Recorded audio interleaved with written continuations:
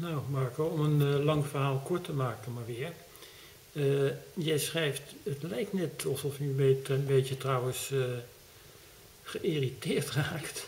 Dus ik denk, laat ik het maar even zo doen. Als ik hierop klik, hè, dat is mijn iPad 5.1 iOS, dan krijg ik dit te zien. Opent dus Marco Raaphorst en dan krijg je dus dominee Remna te horen.